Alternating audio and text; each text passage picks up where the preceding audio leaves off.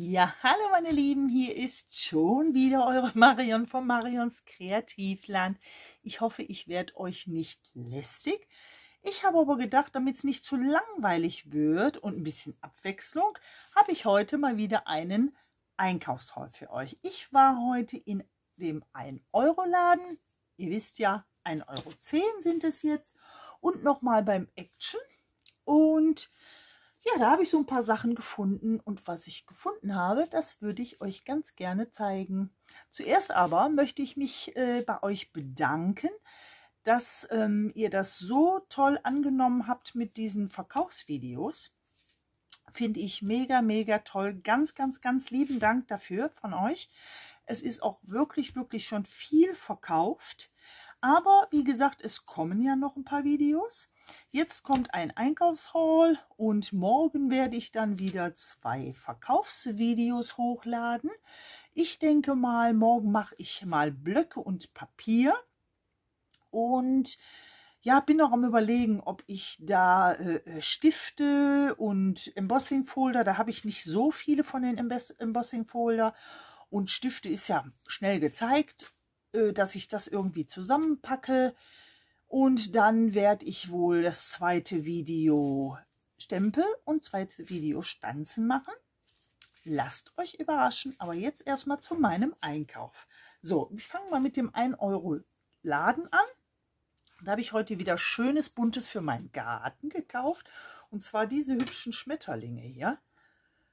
Die sind so, die flattern hier so schön. Ich habe ja vom Action die, die leuchten ja. Hier, die kann man abdrehen. Ich hoffe, das hält auch, weil die sind schon relativ lose. Ich drehe das mal eben ab. Hm, so, die kann man dann gesondert und hier so sehen die von oben aus. Da ich ja hier nicht drunter komme, zeige ich euch das mal eben so. Da gab es vier verschiedene Farben. Die habe ich mir mitgenommen, weil ich dachte, für 1,10 Euro fand ich die jetzt echt richtig toll und auch richtig groß.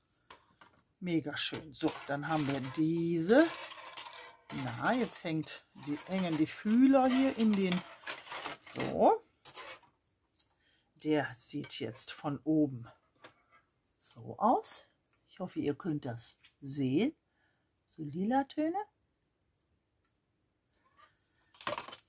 Und dann so ein toller Pink mit Schwarz. Finde ich richtig, richtig toll. Und zu guter Letzt noch hier so ein richtig farbiger.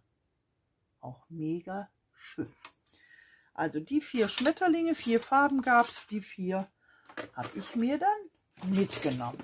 So, dann habe ich mir zwei Sträußches mitgenommen. Ich habe ja so kleine Blumenvasen. Da ist ja mal so die Frage, was macht man da rein? Und da habe ich mir einmal diesen mitgenommen. Auch, wir sind immer noch beim Euroladen ja, für 1,10 finde ich jetzt auch sehr schön. Und der gleiche durfte noch mal in dieser Farbe mit. So neutrale Farbe finde ich ja immer ganz toll. Deshalb kleine Sträußkes, schon schön und auch so gemischt. Ich finde das auch schön, die sind zu und die sind offen und die sehen jetzt nicht allzu künstlich. Ja, die sind jetzt sehr plastikhaft, aber insgesamt finde ich die trotzdem hübsch. Dann hatten sie einmal diese tollen Blümchen, so wie die Action-Blümchen. Action ist natürlich immer relativ günstig, also viel günstiger. Viel. Hm. Aber ich fand jetzt diese Orangen schön. Und ich weiß nicht, ob ihr das sehen könnt. Die glitzern so wunderschön. Hatte der Action ja auch mal. Aber ich fand jetzt die Farbkombis hier so schön. Diese ganz hellrosanen fand ich schön. Und diese Orange. Die passen so zu diesen Blümchen, die der Action jetzt als äh, Sticker hatte habe ich gedacht, das kombiniere ich dann vielleicht irgendwie. Das so als 3D oben drauf und darunter die in der Farbe. Ich glaube, das ist genau so eine Farbe. So, die durften auch mit.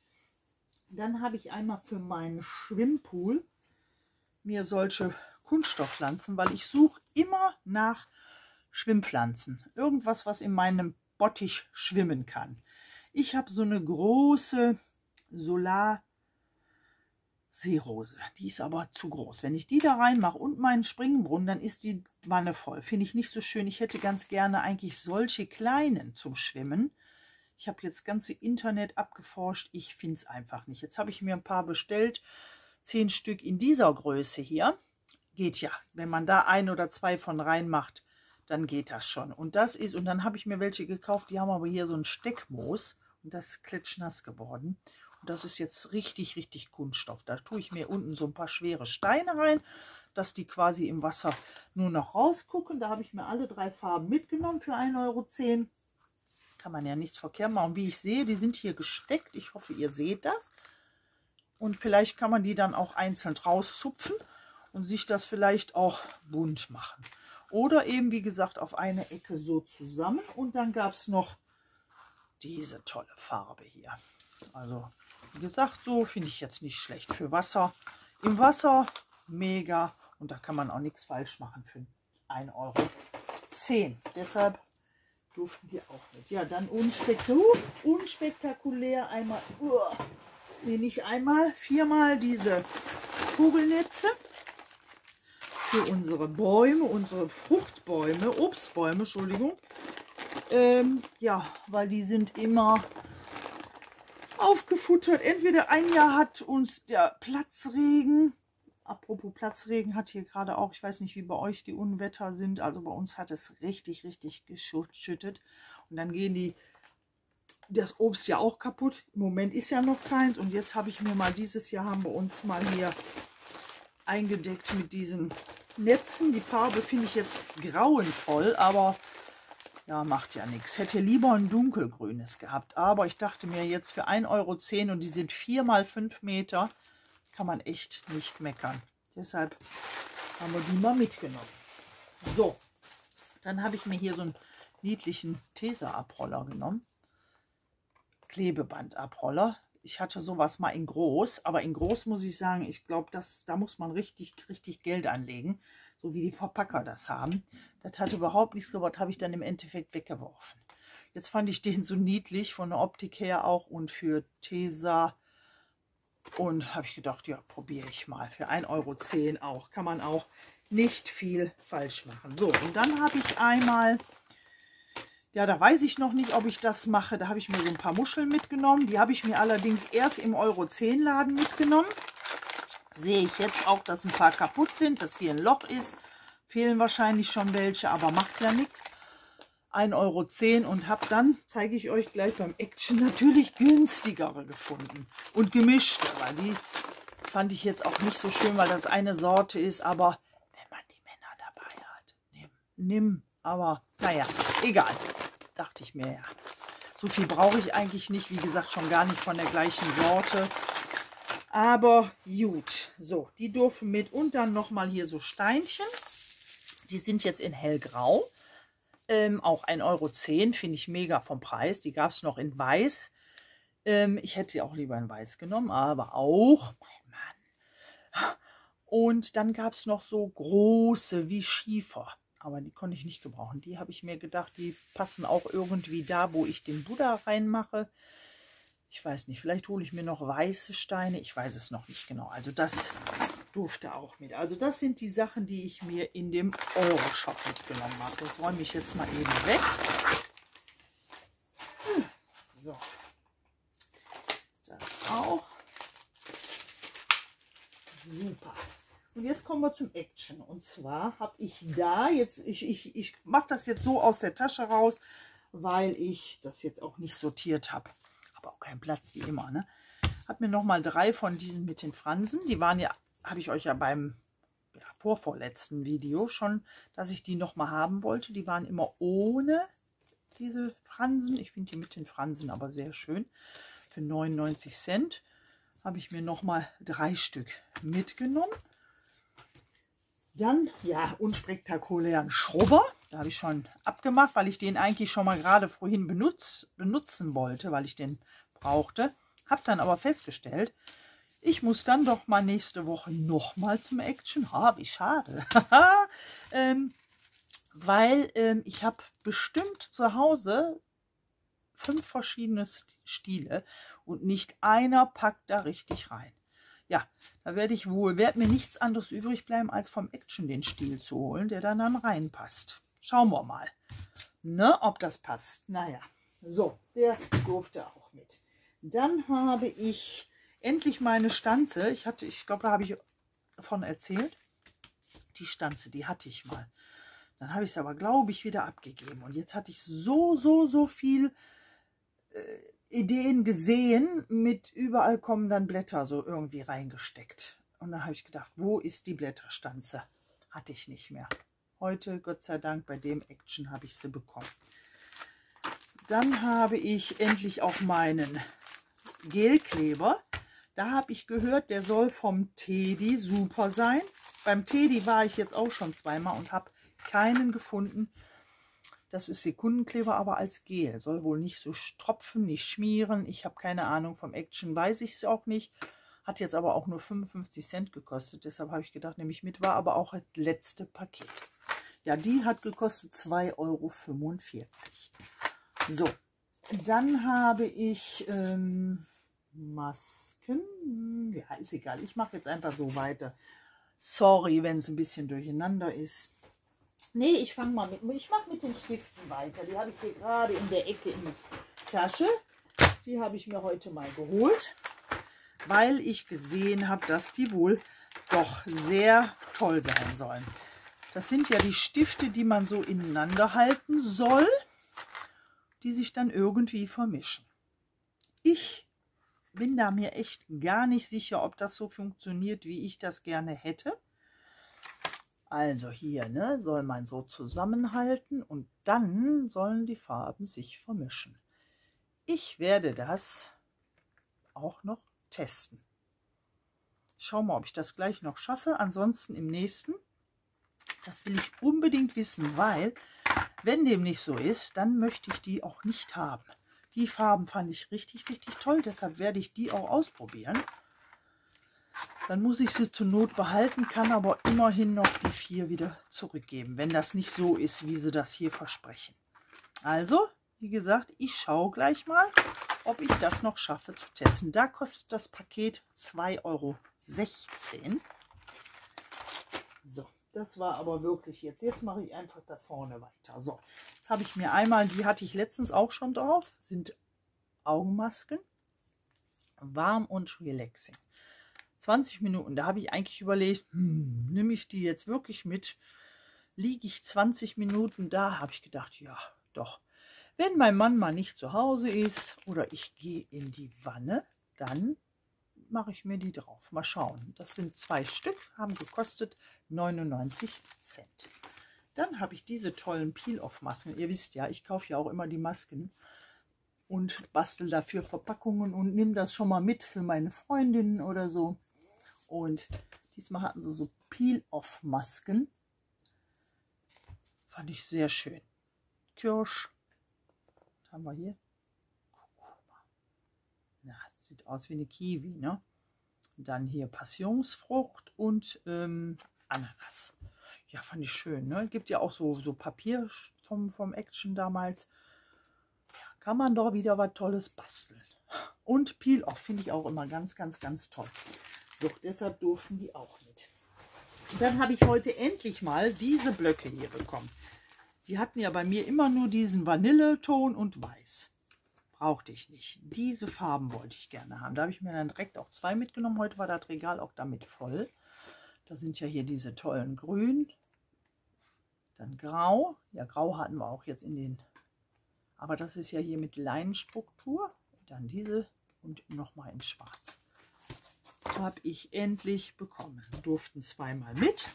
Dann habe ich mir hier diese Mappe mitgenommen. Da weiß ich noch nicht genau. Das sind 20 Blatt, also 20 Pockets. Aber so zusammen, da ist jetzt kein Ringbuch oder so. Und muss ich mal schauen, was ich da Schönes reinmachen kann. Habe ich gedacht, nehme ich mal mit. Erstmal nur eins. Und dann kann man an der Seite dann auch sehen, was man drin hat falls ich das für irgendwas brauche, was ich viel habe, dann hole ich mir davon noch welche. Das hat gekostet, ich meine, 1 Euro 37, 27, ich glaube ja, irgendwie sowas. Äh, die Blöcke, Blöcke haben gekostet 1,59 Euro, die mit der Textur. So, dann hatten sie heute im Angebot dieses tolle Teil hier. Kennt sicherlich jeder Hat mein Mann sich letztens in groß gekauft beim Aldi oder Lidl. Brauchte ich eigentlich nicht. Jetzt habe ich es mir aber mitgenommen, kostet 3,99, weil die hatten so tolle Bänder dazu. Das muss ich mal eben hier unten runter. Zwei und Nummer drei. Die fand ich so schön, die Bänder. Und zwar sind die so tolle Farben hier. Und da habe ich gedacht, das kann man doch bestimmt auch super benutzen für irgendwie auf eine Karte. Hatte ich jetzt so, habe ich jetzt so im Kopf gehabt, wie ich diese Streifen hier gesehen habe. Die haben jeweils 99 Cent gekostet. Da habe ich dann noch diese Farben mitgenommen. Und so Neon. Dann hatten sie noch Gelb mit Grün, aber hm, nee, ist nicht so meine Farbe. Also die finde ich sowieso mega. Ich bin sowieso für dieses Pastellige. Ja, und da habe ich gedacht, das sieht doch richtig toll aus. Muss ich auf jeden Fall probieren. Das zeige ich euch dann auch, wie die so druckt und ob man das wirklich benutzen kann, so auf eine Karte. Finde ich mega schön. Deshalb habe ich die einfach mal mitgenommen. So, manchmal lockt das ja, wenn es dann da steht. So, jetzt kommen wir zu den tollen Muscheln vom Action. Die haben gekostet 99 Cent. Und da finde ich die, hier sehe ich zwar auch ein Loch, aber die kommt ja eh andersrum. Aber das sind doch richtig tolle Muscheln. Und hier sind schon mal passé zwei verschiedene Modelle drin. Finde ich mega schön. Richtig groß, richtig schwer. Da habe ich mich da ein bisschen geärgert, aber gut. Hier haben wir auch die Herzmuscheln dann nochmal in klein. Dann hier diese Sch Sch Wendeltreppen. Richtig toll. Hier ist alles gemischt. Da sind auch die, die ich da vom Euro 10 Laden habe. Und richtig, richtig schwer. Die sind richtig leicht, aber gut. Egal, so was tauscht man da nicht um. Also die beiden Tüten durften auch mit. Dann habe ich für meine, ich habe ja diese bunten Kissen unten bei mir auf der Terrasse für, für draußen, wisst ihr ja. Und mir eine Tischdecke aber neutral gekauft in grau, weil die Möbel grau sind. Und da fand ich jetzt diese Anhänger für so Tischdeckenbeschwerer. Kennt ja jeder, ne? Habe ich auch. Irgendwo habe ich welche. Ich habe auch für Ostern welche. Da hängen Häschen dran, aber die fand ich jetzt schön, die äh, Flamingos. Finde ich zwar schade, dass jetzt nur zwei Flamingos sind, aber gut, zwei Blätter dazwischen. Man hätte sich ja zwei Pakete kaufen können. Aber ansonsten finde ich den natürlich schön. Fand ich mega schön, genauso wie die Papageien hier, passen auch zu den Kissen. Hier, so habe ich ja ungefähr die Kissen. Und da bin ich aber überlegen, ob ich die wirklich an die Tischdecke hänge oder ich habe ja dieses, wo ich immer noch nicht weiß, wo ich es hinmache, diese Stange. Wenn ich die nach draußen mache, dann werde ich da eine Lampe, eine Lichterkette und vielleicht hänge ich mir dann die da dran. Ich weiß es noch nicht. Ich fand die auf jeden Fall mega süß. Deshalb habe ich mir die mitgenommen. So, und dann habe ich zu, was haben wir hier noch? Ach ja, jetzt habe ich, habe euch ja erzählt, ich hatte ja diese kleinen Zwerge mir gekauft. Die da an dem. Und letztens habe ich ja nur drei bekommen. Da fehlte mir der blaue. Und Tatsache, heute beim Action gab es nur diesen einen blauen. Ja, die Schmetterlinge leider immer noch nicht wieder. Ja, und dann habe ich mir einfach mal das hier mitgenommen. Ein, achso, der kosten ja 99 Cent, das wisst ihr ja. Ach, hier habe ich vergessen. Die kosten 1,99 Euro. Äh, ah, hier 2,59 Euro. Ja, ich war gerade da, deshalb weiß ich die Preise noch. Den Kassenbon habe ich dann immer unten, da habe ich dann keine Lust, nochmal runter zu gehen. Aber jetzt wusste ich es. Und hier habe ich mir mal so neutral, ja pink, ich mag ja pink und rosa. Was mir hier gut gefällt, ist, dass das hier so Gummizug hat. Gummi. Einfach Gummi, gar nichts zumachen, so wie die normalen Armbänder. Und manchmal sind die so groß, dass man die als Fußkettchen benutzen kann. Das finde ich natürlich mega. Da habe ich jetzt eine neutrale Farbe. Ich hatte noch eine ganz, ganz bunte im, im, im, im Wagen. Die habe ich dann aber wieder zurückgetan, weil ich dachte, hm, da muss wieder passende Klamotten zu haben. Hier ist doch schon ein bisschen neutraler. Und rosa und pink habe ich eh genug. Ach ja, habe ich mal mitgenommen. 1,99 Euro. Schauen wir mal, wie die so sind. Ja, dann gab es nur noch hier so, so eine ähm, Body Cream Kokos noch dachte ich mir, ich probiere mal. Ich rieche mal, wie die riechen. Ah ja, riecht wirklich, wirklich schon durch dieses Alu. Riecht das schon. Mega lecker.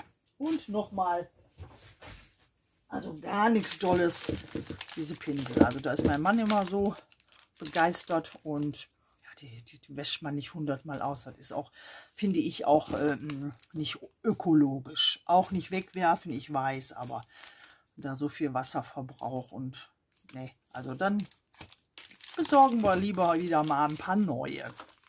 Ja, meine Lieben, das war mein Einkaufsroll. Ich hoffe, es hat euch gefallen. Ich freue mich über einen Daumen hoch. Liebe nette Kommentare. Ihr wisst, ich versuche immer jedes Kommentar zu beantworten, auch wenn es keine Frage ist. Ähm, ja, wie gesagt, und morgen werde ich dann wieder auf jeden Fall zwei Verkaufsvideos hochladen. Also Plan ist, wie gesagt, äh, Blöcke und Papier und vielleicht eine Mischung aus Embossing Folder, Stiften. Ja, und wie gesagt, die Stifte hier werde ich auf definitiv ausprobieren, wenn ich euch dann einen kleinen Schwank vorher zeige davon. Und äh, was war noch? Was wollte ich noch? Ach ja, und dieses Teil hier. Das probiere ich auch. Dann mache ich irgendeinen Spruch und dann schauen wir mal, ob man sowas auf eine Karte machen kann. So, meine Lieben, jetzt wünsche ich euch einen schönen Tag. Bleibt gesund. Tschüssi, eure Marion von Marions Kreativland.